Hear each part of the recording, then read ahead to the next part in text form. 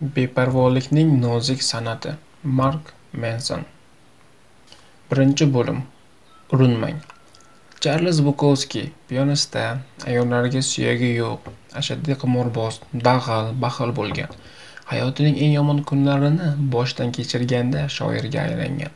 U shunday inson ediki, siz uni namuna sifatida qabul qilishingiz yoki foydali maslahatlar yozilgan kitobda ismini ko'rishni istashingiz mumkin edi.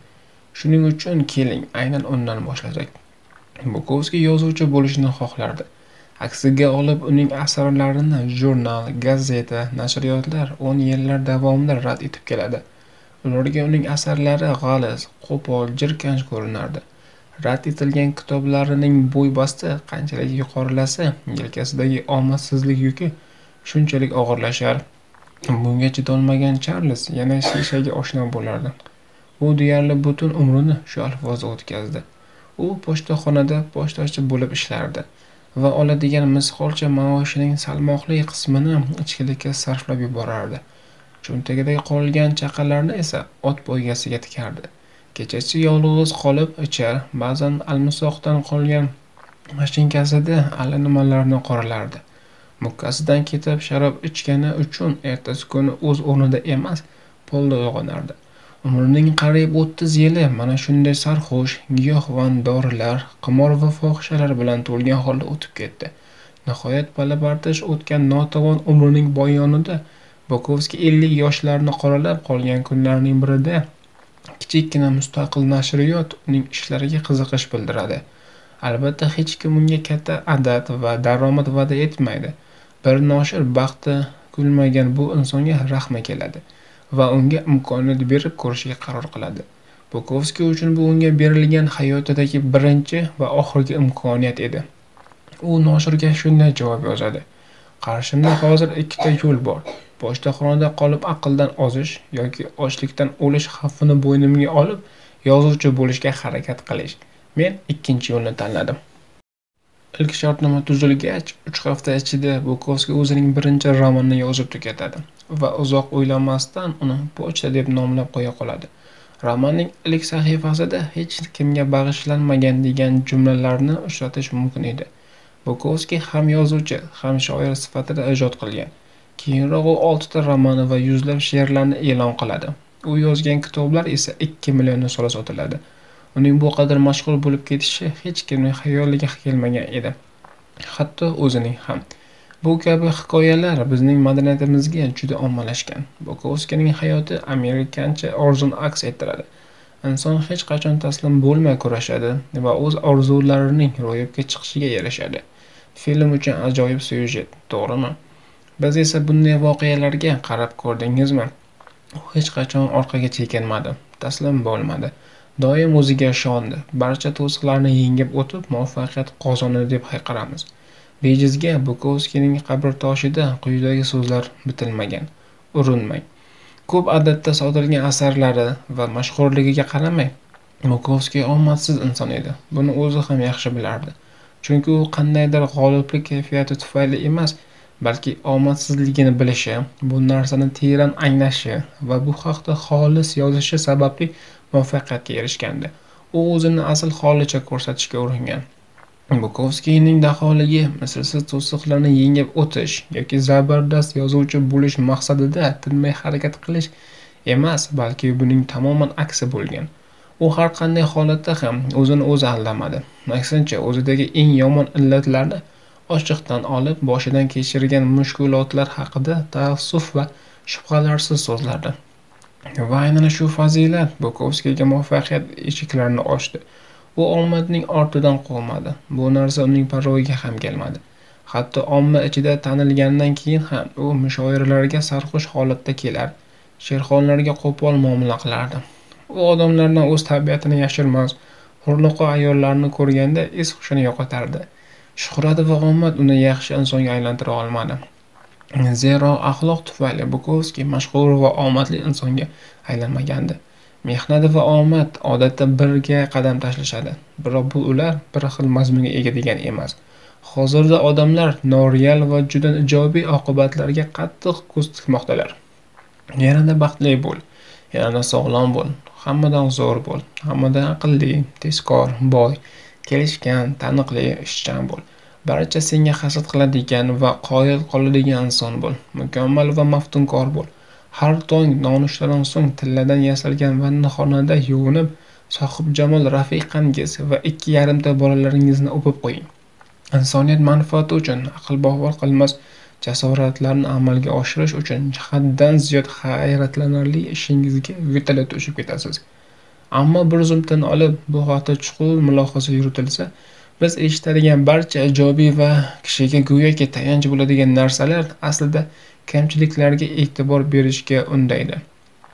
U siz kamchilik va omadsizlik deb hisoblaydigan jihatlarni ajratadi va ularni sizga burttirib ko'rsatadi. Siz esa o'z uz o'zidan bundan omad uchun pul yetishmaganini his qilasiz va yanada yaxshiroq usul bilan pul ishlashga intilaverasiz. Har kuni ko'zgu qarshisida turib o'zingizga o'zingiz ajoyib ekaningizni isbotlashga harakat qilasiz. Siz o'zingizni shunday holingizda sevib qolishlariga aslo ishonmaganingiz bois uchrashuv va munosabatlar haqidagi turli maslahatlarga rioya qilasiz. O'z hayotingizda omadni ilg'amaganingiz tufayli muvaffaqiyat vizualizatsiyasiga oid har xil ahmoqona mashg'ulotlar bilan shug'ullanasiz. Eng qizig'i ushbu jarayondagi paradoks shundaki faqat ijobiy yaxshi va ulug' narsalarga diqqatni yo'naltirish yana va yana bizga zarur bo'lgan omadimiz chopmagan vaziyatlar xususan amalga oshmagan orzularimiz haqida eslataveradi. Binobarin chindan-da baxtli odam ko'zgu qarshisiga o'tirib olib o'zini haqiqatdan ham baxtli ekanligini o'ziga takrorlamaydi. Unga bundan nima naf? U shunday ham baxtiyor. Texasliklar orasida hammadan kichkina kuchuk hammadan balandroq vovullaydi degan gap bor. O'ziga ishongan erkak buni boshqalarga isbotlashga urinmaydi. Badavlat ayol esa o'z boyligining atrofdagilarga ko'z ko'z qilmaydi. Yo asling kabi ko'rin yo ko'ringaning kabi bo'l. Agar biror narsa haqida to'xtovsiz orzu qilsangiz shu yo'l bilan o'sha e, yetishmas orzuni beixtiyor ongingiz tizimiga singdirib boraverasiz. Har tarafdan biz eshitganimizday va televizordagi reklamalar takror va takror ta'kidlaganiday to'kin hayot yaxshi ish zo'r ulov chiroyli ma'shuqa deylik tagi qizitiladigan havoli basseyn bilan o'lchanadi. Dunyo sizga yaxshi hayot kechirish sirini yana yana yana degan tushuncha orqali idrokingizga singdirmoqchi bo'ladi. U ko'proq sotib ol ko'prog'iga ega bo'l ko'proq bajar ko'proq maishatga martabang bo'lgan hurmat qozon deb ta'kidlayveradi. Ustingizga juda ko'p narsaga e'tibor berishingiz zarurligi haqidagi millionlab xabarlar tinmaydigan yomg'irday yog'averadi. Yangi televizor sotib ol ta'tilga hamkasblaringdan yaxshiroq o'tkaz. Gazon uchun yangi maketni xarid qil. Selfi uchun yaxshi tayoqcha haqidagi o'ylab ko'r. Nega? Chunki yanada yaxshi va ko'prog'ini istash biznes uchun manfaatlidir. Mening halol va muvaffaqiyatli biznesga aslo qarshiligim yo'q. Biroq xavotir va hasham borasida e, kim o'zlariga musobaqalashish inson ma'naviyati uchun xavfli. Bu jarayonda soxta va qalbaki narsalarga qattiq bog'lanib umringizni baxt va qanoat ro'yosi ortidan quvib o'tkazganingizni bilmay qolasiz. Vaholanki mazmunli hayot kechirish siri hargiz yangi va yangi tashvishlarda emas aksincha u kam sonli tashvishlarda yashiringan. Inson faqat chin haqiqiy va muhim narsalar haqida qayg'urishi darkor. Afsuslangan jahannam halqasi. Inson tabiatida xavotir deb nomlangan shunday bir nuqson borki agar u vaqti vaqti bilan tindirilib hovurib bosilib turilmasa odamni telba holatga keltirib qo'yishi mumkin. Tanish tuyulyaptimi siz boshqa insonlar bilan o'rtangizdagi munosabatdan xavotir olasiz. Bunday xavotir sizni ichingizdan yemiradiyu siz uning qayerdan paydo bo'lganini ham bilolmay xunob bo'lasiz. Va yakunda shunchaki xavotir olganingiz tufayligina xavotirlanishni boshlaysiz. Juda og'ir. Bunday qo'sh xavotir bilan kurashish oson emas. Natijada esa xavotiringiz tufayli xavotirlanasiz. Bu esa ko'ngildagi yoqimsiz hissiyotni bir necha karra oshiradi. Va inson irodasi orqaga chekinishni boshlaydi. Yoki g'azabingiz jo'shib oddiy va ahamiyatsiz narsalarga ham jahlingiz chiqadi. O'zingizni idora qilolmaysiz bunday oson g'azablanish illati esa ichingizdagi xavotir gulxaniga o'tin qalaydi.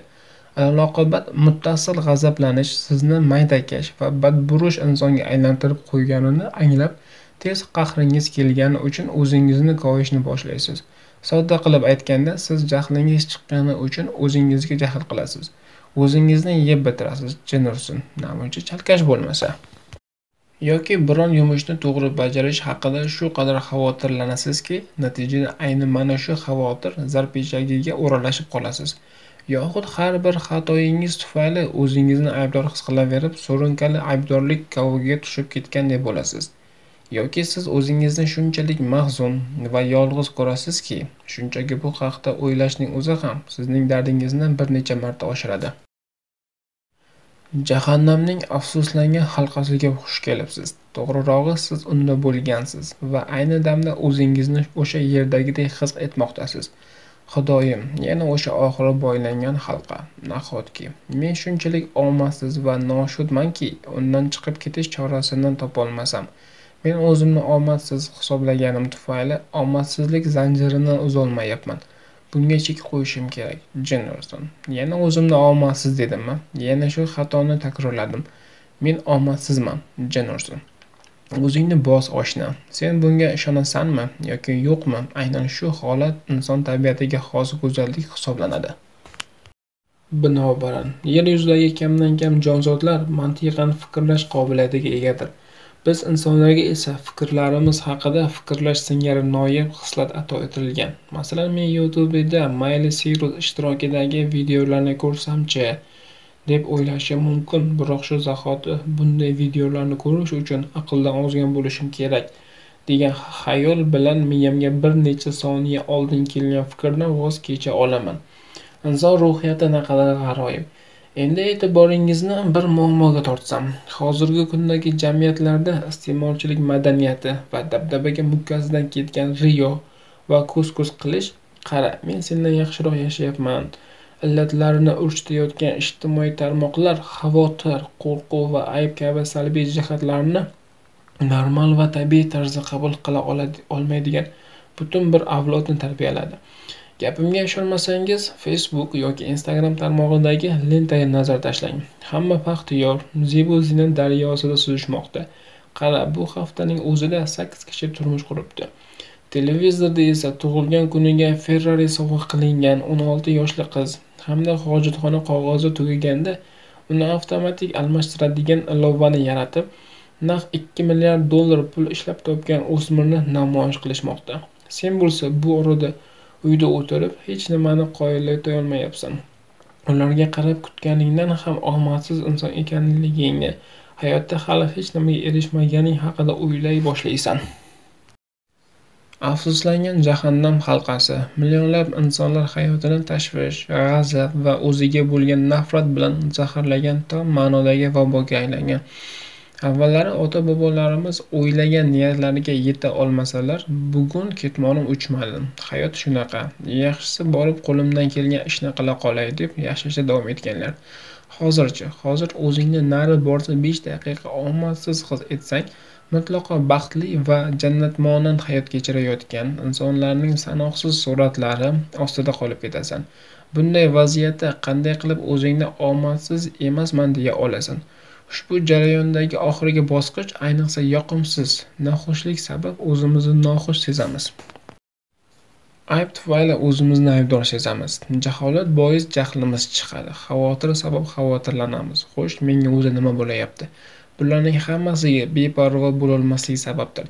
Beparvolik dunyoni qutqaradi. Bu dunyoning bir kamligini anglash va bu hodisaning odatiy hol ekanligini tushunish kabi xislatlar ha aynan mana shunday xislatlar bizning sayyoramizni qutqaradi. O'zingizni boricha qabul qilish atrofdagi hamma narsaga parvo qilavermaslik orqali siz ancha yengil tortasiz. Eng asosiysi afsuslangan do'zax halqasidan chiqishga muvaffaq bo'lasiz.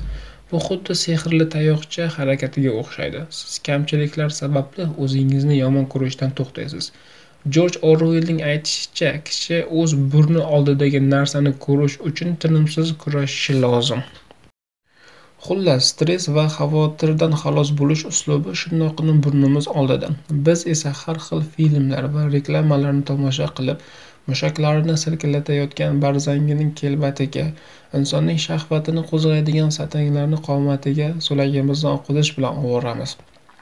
Biz uchinchi dunyo muammolari haqida tarmoqda hazillashamizu ammo o'z muvaffaqiyatimiz quliga aylanganimizni sezmaymiz. ham garchi hozir odamlarning uyida barcha zamonaviy texnikalar va sharoitlar muhayyo bo'lsa-da, so'nggi o'ttiz yil ichida stressga aloqador kasalliklar, xavotirli nevroz va tushkunlikka oid muammolar misli ko'rilmagan darajaga ko'payib ketdi. Bizning tanazzulimiz bundan buyon moddiy narsalarga bog'liq emas, balki uning asosiy sababi ruhiy tushkunlikdadir. Bizni shunchalik ko'p buyumlar va imkoniyatlar qurshab olganki, ko'p hollarda beparvolik nimaligini, uning qanday hissiyot ekanligini unutib qo'yganmiz. Oxirgi davrda axborotning nihoyatda ko'payib ketishi natijasida odamzod ko'p narsaga bilishga, kerakli va keraksiz ma'lumotlar va ko'rishga ulgurdi. Ong ostida u o'zini boshqalar bilan solishtirishni, boshqalardagi maqom va boylikka intilishni boshladi. Doimiy havas va hasad hissiyoti esa uni aqldan ozdirmoqda. So'nggi bir necha yil ichida qanday qilib baxtli bo'lish mumkin degan cho'pchak ijtimoiy tarmoqlarda qariyb sakkiz million marta ulashildi. Biroq hech kim bunday siyosatlarning ostida yotgan asosiy muammoni anglolmaydi.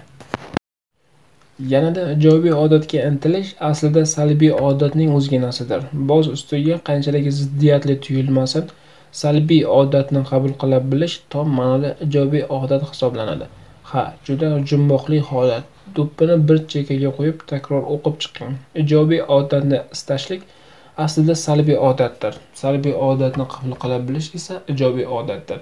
Bunday hodisaga faylasuf oll alson teskari harakat qonuni deb nom bergan. Ya'ni inson qanchalik ko'p narsani istasa o'sha narsaga qanoat hosil qilolmaydi.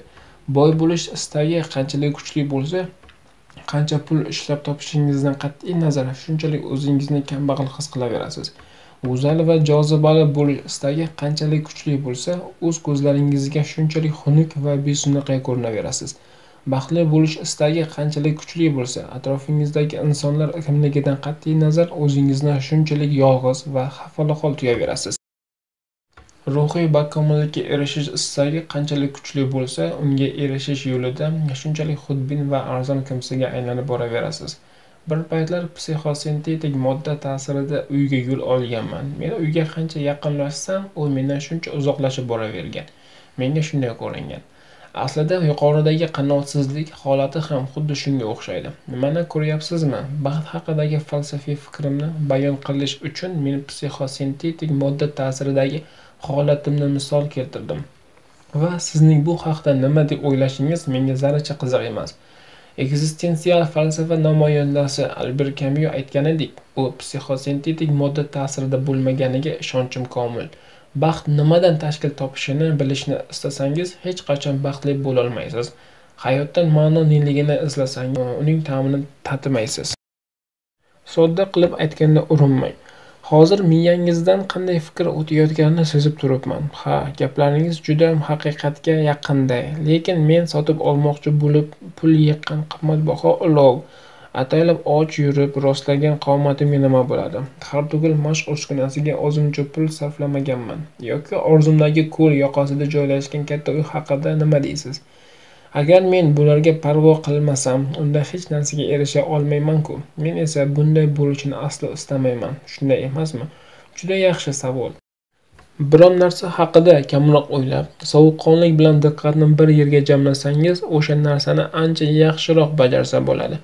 Shunga hech e'tibor berganmisiz? Odatda omadga erishishni eng kam istagan inson muvaffaqiyat qozonadi. Shunday emasmi?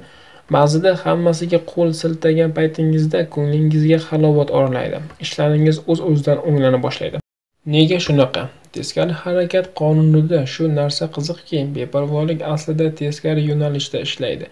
Ijobiylikka intilish salbiylikka yetaklaydi va aksincha salbiylik ijobiylik tomon tortadi mashq uskunasidagi og'riq sog'liqni yaxshilaydi badanga quvvat qo'shadi. Biznesdagi inqirozlar esa muvaffaqiyat uchun nimalar muhimligini tushunishga to'g'ri strategiyani anglashga yordam beradi. O'z kamchiliklaringiz va nuqsonlaringizni ochiq tan olish aslida o'zingizga bo'lgan ishonchni kuchaytiradi. Muloqotda samimiy bo'lishga kuch beradi. Samimiy ziddiyat og'rig'i munosabatlardagi ishonch rag'batlantiradi va o'zaro hurmatga zamin yaratadi. Qalbdagi qo'rquv va xavotirga tik qarash orqali inson matonati ortib boradi. Bunday misollarni juda ko'p keltirish mumkin. Lekin gapning mazmunini tushundingiz degan umiddaman. Hayotda intilishga arziydigan barcha narsalarga salbiy tajriba tufayli erishiladi. Salbiylikni chetlab o'tishga qaratilgan har qanday urinish aks ta'sir bermay qo'ymaydi. Qiyinchilikdan qochishning o'zi aslida qiyinchilikdir. Kurashdan qochish aslida kurashning bir shaklidir omadsizlikni tan olmaslik aslida omadsizlikdir. Uyatni yashirish aslida uyatlidir. Mushkulot hayot matosidagi rishta. Uni matodan ajratishga urinish nafaqat imkonsiz balki yomon oqibatlidir. Rishtani matodan chiqarish orqali matoning o'ziga zarar yetkazish mumkin. Mushkulotdan qochishga intilish mohiyatan unga juda katta ahamiyat bergan bilan barobar. Yoki aksincha mushkulotga e'tiborsiz qarash orqali faqat oldinga intilish mumkin. Men hayotimda juda ko'p narsa haqida qayg'urganman. Bezovta bo'lganman jurmushga kelganman. Ammo yana juda ko'p narsaga parvo qilmaganman qo'limni siltaganman. Oqibatda men beparvo bo'lgan holatlar aslida men kuyib pishgan holatlardan muhimroq bo'lib chiqqan. Hayotda biror narsaga qo'lini siltab oxir oqibatda aql bovar qilmas marralarni zabt etgan insonlar ko'p bo'lgan. Balki bunday holat siz bilan ham sodir bo'lgandir. Masalan men o'zimning asosiy ixtisosligim bo'yicha moliyachi olti haftagina ishlab internet biznes bilan shug'ullanishga qaror qilganman va o'z kasbimni tashlaganman. Hayotim bunday evrilishlarga boy. Bir kuni mol mulkimning kattagina qismini sotib janubiy amerikaga ketgim kelib qolgan. Hamma narsani tashlab ketish osonmas deysizmi? Juda oson. O'ylagan ishimni qilganman. Aslida mana shunday kutilmagan vaziyatlar hayot yo'llarimizni belgilab beradi. Ish va kasbni butunlay almashtirish kollejni tashlash haqidagi nogahoniy qaror ko'ngilni yozish uchun to'satdan sayohatga otlanish ko'ngildagi to'siqlarni yengish va hokazo. Eng xavfli og'ir chaqiriqlarga mardonavar javob qaytarish va harakat qilish uchun avvalo unga beparvo qarashni o'rganish lozim garchi bunday qilish tashqaridan juda osondek tuyulsa-da, aslida ro'y berayotgan voqealarga beparvo bo'lish juda mushkul vazifa. Ko'pchilikda bunday qilishga kuch va iroda topilmaydi. Ishonmasangiz, o'z tanangizda sinab ko'ring. Aksariyat insonlar asablarini aslida hech vaqoga arzimas narsalarga sarflab o'zlarini qiynab yuradilar. Biz qaytimni mayda-chaqalar bilan qaytargan avtobusdagi qo'pol chiptachining muomalasidan g'ijirab-bayron bo'laveramiz. Sevimli ko'rsatuvimiz har doimgi vaqtdan boshqa vaqtga ko'chirilsa ham jahlimiz chiqadi. Hamkasblar ta'tilni qanday o'tkazilganimizni so'ramagani uchun ichimizni kemiramiz. Bu orada esa kredit karta muddati tugaydi. Uydagi jonzotlar bizdan nafratlanadi. O'smir o'g'limizning tarbiyasi kundan-kunga buzilib boraveradi. Biz esa mayda-chaqalar va televizorda bekor qilingan ko'rsatuvimiz tufayli asabiylashamiz. Qarang, bu qanday ishlaydi? Bir kuni baribir bu dunyoni tark etasiz. Bilaman, bu real hodisa. Lekin mabodo unutib qo'ygan bo'lsangiz-chi degan gumonda yana bir bor sizga bu haqda eslatyapman. Siz va siz bilgan barcha insonlar ertami-kechmi baribir o'lishadi. Bizga in'om etilgan mana shu qisqa vaqtda juda oz narsa haqida qayg'ura olamiz. Ha, juda ham oz. Agar siz atrofda ro'y berayotgan hamma narsaga e'tibor qaratib, asabiylashaversangiz, bir kuni telba bo'lib qolishingiz hech gap emas. Shuning uchun hayotda ham ayrim narsalarga beparvo bo'lish bag'oyatda muhimdir. Bu juda g'alati eshitilishi yoki men tentakday tuyulishi mumkin. Lekin bu yerda gap diqqatni bir yerga jamlash va eng muhimi ishlarni saralashni o'rganish haqida boryapti. Shaxsiy qiymatlar asosida o'zingiz uchun eng ahamiyatli narsalarni anglashingiz va saralab olishingiz juda muhim. Bu ish nihoyatda qiyin, buning uchun ko'p yillar va urinishlar talab etilishi mumkin. Har holda buni tushunish oson bo'lmaydi. Lekin bu chin ma'noda inson o'z hayoti davomida kurashadigan eng munosib mahoraba, balki bu hayotimizdagi yagona jangu jadaldir. Inson atrofidagi har bir kimsa va har bir narsaga parvo qilaversa, o'zini muttasil baxt va rohatga loyiqdek his qila boshlaydi. Hamma narsa u istaganday bo'lishini istab qoladi. Bu esa sog'larning ishi emas. Bunday sajiya odamni ta'tiriklayingurga tiqadi. Natijada inson har qanday e'lonni adolatsizlik, har qanday chaqiriqni omadsizlik har qanday noqulaylikni hurmatsizlik har qanday norozilikni xiyonat deb qabul qilishga odatlanadi. Bunday odamlar o'zlarini qaynoqqina tor do'zaxlariga qamab qo'yib barchani o'ziga qarzdor deb hisoblashdi va manmanlik o'tida yonishda davom etadilar. Afsuslangan halqa bo'ylab tinimsiz yuguraverib oqibatda biror manzilga ham yetib borolmaydilar beparvolik san'ati. Beparvo odam deganda ko'pchilik hayotdagi g'al g'ovurlarga pisand qilmaydigan sokin insonni tasavvur qiladilar.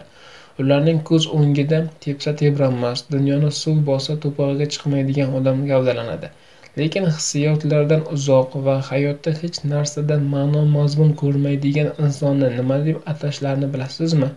Bunday odam telba deyiladi. Ishonamanki bu hayotda hech kim o'z ixtiyori bilan telba bo'lishni istamaydi. Xo'p, unda beparvolik deganining o'zi nima? Keling bu hodisani ta'riflashga, uni yaxshiroq anglashga yordam beradigan uchta nozik jihat haqida gaplashamiz.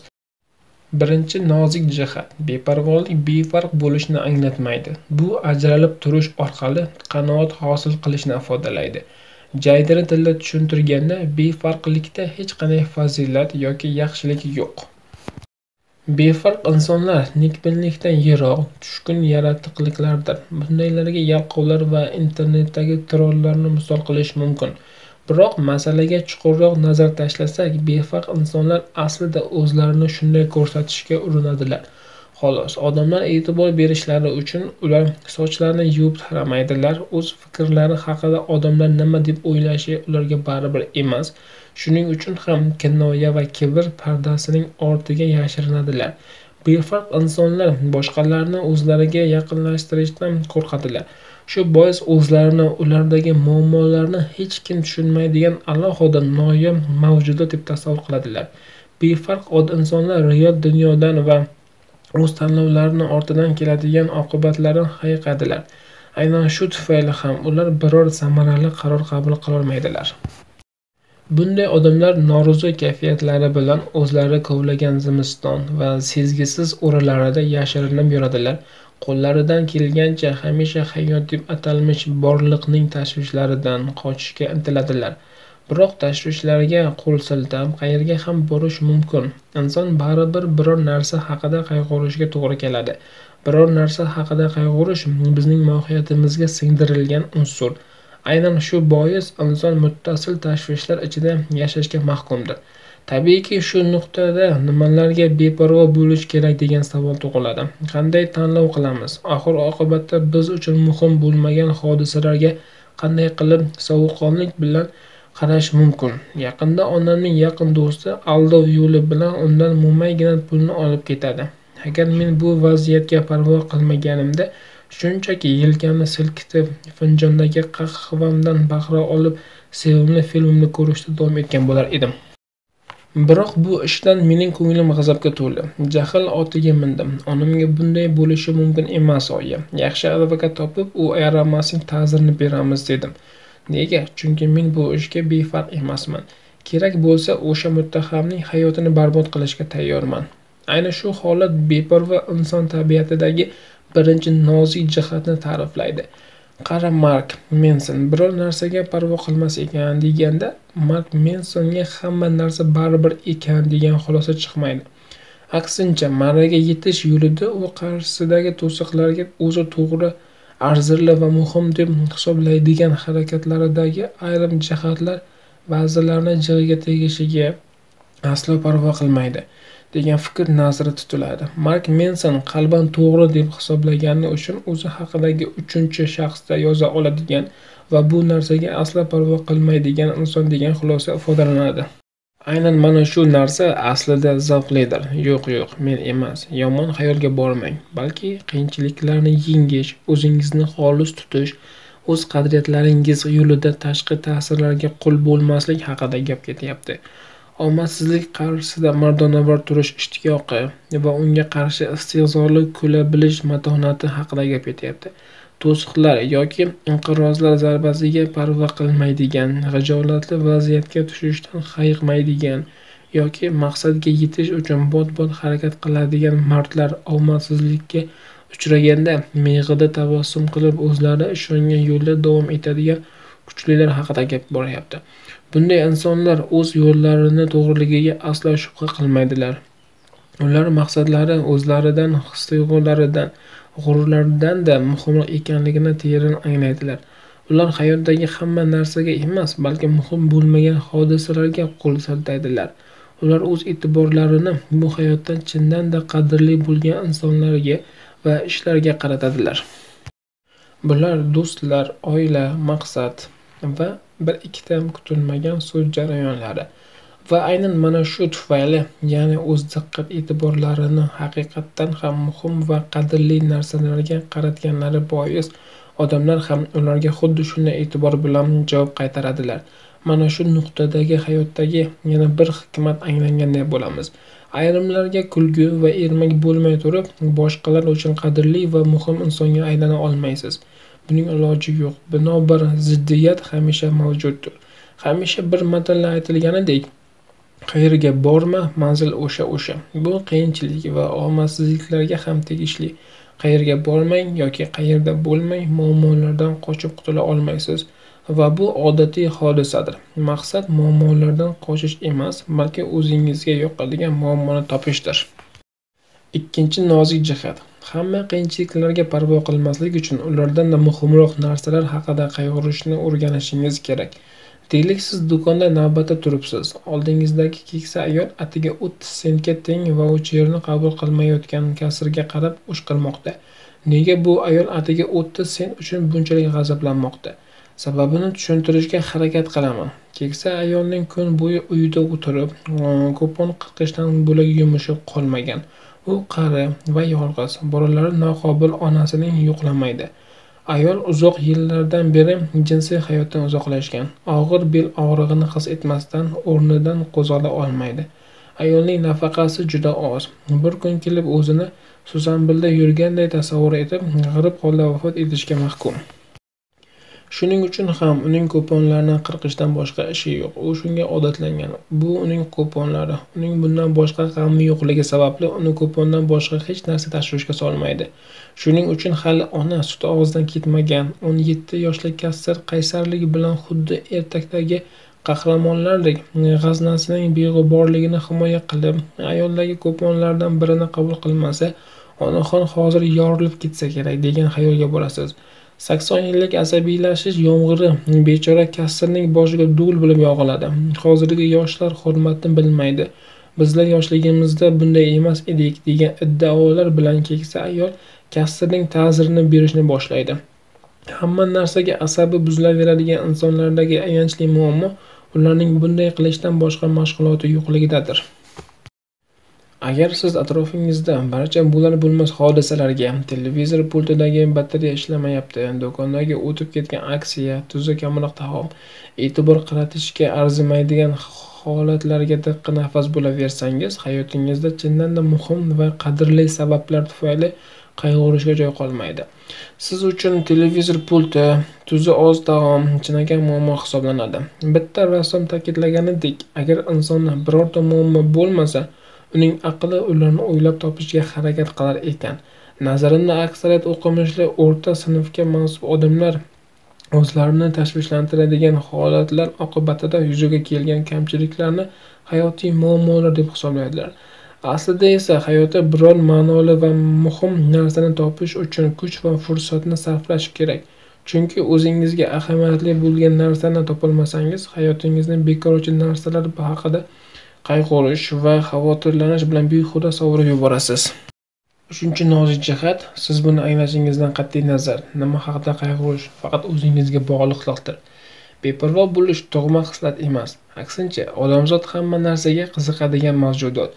Buning uchun shlyapasi boshqacha rangda bo'lgani tufayli xarxasha qilib yig'layotgan bolakayni tasavvur qilish kifoya. Nima dedingiz a bu tabiiy holat. Yoshligimizda hamma narsa ko'zimizga yangi va hayajonli ko'rinadi. Shuning uchun har qadamda jig'ibero bo'laveramiz. Biz hamma narsa va har kim haqida asabiylashaveramiz odamlar nima derkin ularning ko'ziga qanday ko'rinar ekanman degan o'y bilan yashaymiz. Hatto paypoqning rangi tug'ilgan kundagi pufakning shakli halovatimizni o'g'irlaydi. Vaqt o'tgan sari ulg'ayib hayotiy tajribamiz ham ortib boradi. Umrimizning oltin daqiqalari behuda sarflangani. Biz e, quyib pishgan narsalar esa taqdirimizga salmoqli darajada ta'sir qilmaganligini anglaymiz. O'git va nasihatlari biz uchun qadrli bo'lgan insonlar esa hayotimizdan izsiz yo'qolganligini bizni nazarga ilmaganlarning bunday qiliqlari oxir oqibatda bizning foydamizga ishlaganini tushunib yetamiz. Boz ustiga insonlar biz haqimizdagi birlamchi tafsilotlarga juda oz e'tibor qaratishlariga guvoh bo'lamiz va buning uchun asarni buzmaslikka astoydil harakat qilamiz. Bora bora o'zimiz qayg'uradigan narsalarni aql ko'zi bilan tanlaydigan bo'lamiz. Bunday hodisani odatda ulg'ayish deb nomlashadi. Yaxshi narsa. Ora sirada uni sinab turish foydadan xoli bo'lmaydi. Inson chindan-da qayg'urishga arziydigan narsalar to'g'risida qayg'urishni o'rgansagina ulg'aygan hisoblanadi. Josuslik serialida bank morland sherigi isqivor maknaltiga aytganidek qayg'urish kerak bo'lmagan narsa uchun kuyib pishsang odatda mana shunaqa oqibatga erishasan. Biz yanada ulg'ayib o'rta yoshlarga yetganimizda hayotimizda yana ayrim narsalar o'zgarishni boshlaydi.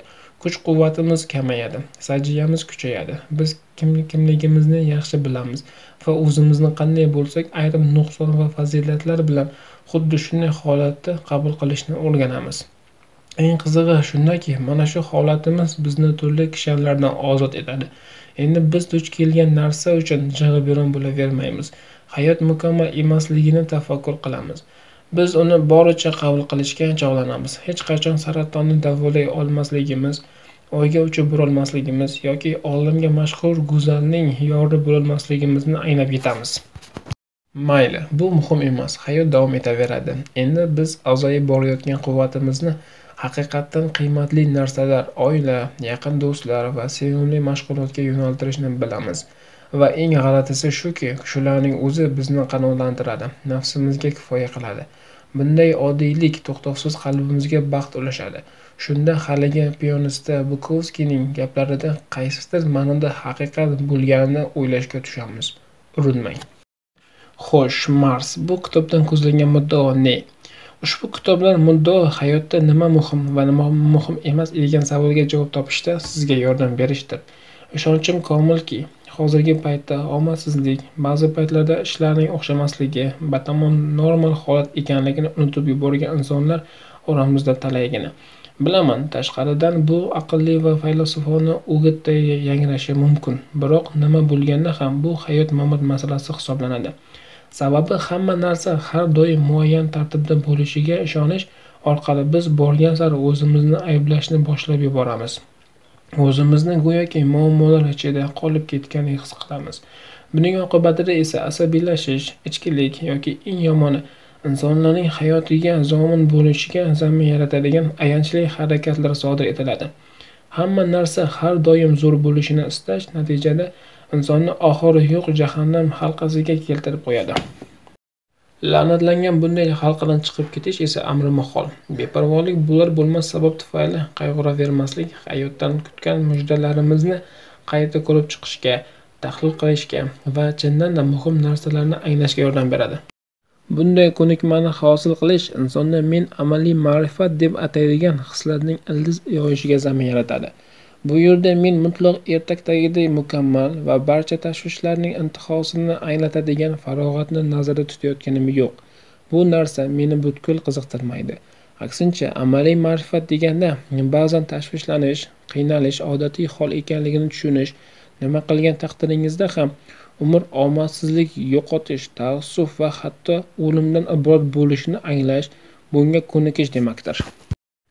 Hayotda sizga otadigan toshlarga tayyor bo'lish u sizga juda ko'p tosh otadi ishonavering u tayyorlagan barcha ko'ngilsizliklarga shay turish qaysidir ma'noda sizni mushkulotdan qarshisida yengilmas insonga aylantiradi. Alalxusus qiyinchilikni yengishning yagona usuli unga sabr qilishdir. Bu kitob sizdagi muammolar yoki qiyinchiliklarni bartaraf etmaydi. Men sizga bor gapni yozmoqdaman. Bu kitob sizni ulug'likka yetaklaydigan qomus bo'lolmaydi. Binobarin ulug'lik bizning ongimizdagi illyuziya o'ylab topilgan intiho va bizning xayoliy atlantidamizdan o'zga narsa emas. Biroq ushbu kitob og'riqni qurolga jarohatni kuchga muammolarni esa bir qadar ijobiyroq muammolarga aylantirishda sizga yo'l ko'rsatadi. Aytingchi bu real o'zgarish emasmi? Bu kitobda qiyinchilik va u bilan kurashish uni aql bilan yengish tushunish bo'yicha yo'riqnoma o'rnida foydalanishingiz mumkin. Bu kitob og'ir tashvishlarga qaramay yengil qadam tashlash buyuk qo'rquvlar og'ushida yurakni sokin tutish yig'lash asnosida ko'z yoshlar ustidan kelish haqidadir. Bu kitob biror narsani qo'lga kiritish qozonishni aksincha qo'yib yuborish qoldirishni o'rgatadi. Bu kitob hayotga tashqaridan nigoh tashlash va chindan muhim bo'lgan narsalardan bo'lak hamma xavotirlarga qo'l siltashni o'rgatadi. Bu kitob ko'zlaringizni yumgan holda bo'shliqqa o'zingizni otib sog' qolishni tegirmondan butun chiqishni o'rgatadi. U sizga kamroq tashvishlanish yo'llarini ko'rsatadi. U sizga kamroq urinishni o'rgatadi.